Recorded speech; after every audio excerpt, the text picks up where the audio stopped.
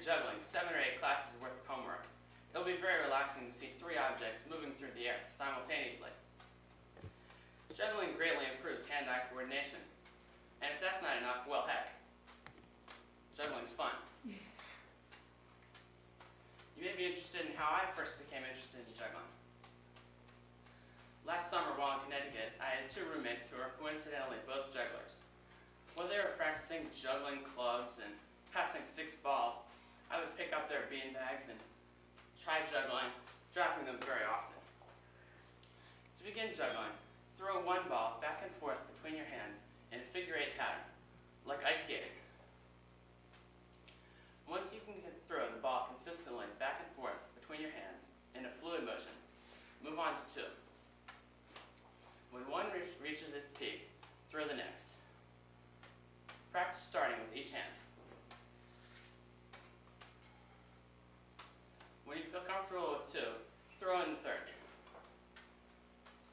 It may seem as if I've oversimplified this, let me give you some techniques to remember while first learning. Always juggle in a plane in front of yourself, not with depth. Juggling is very symmetric. Do not rely on your dominant hand. And most importantly, practice.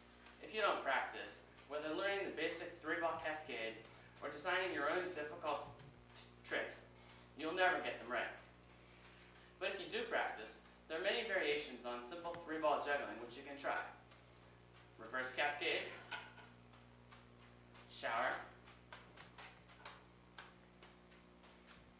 clawing, juggler's tennis, various interesting pauses.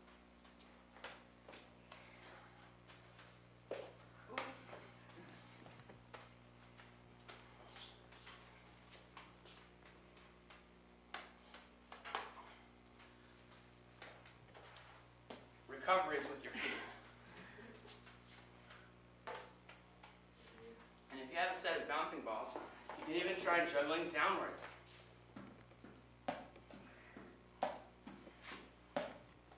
Once you decide you have sufficiently mastered three-ball juggling, you can move on to four.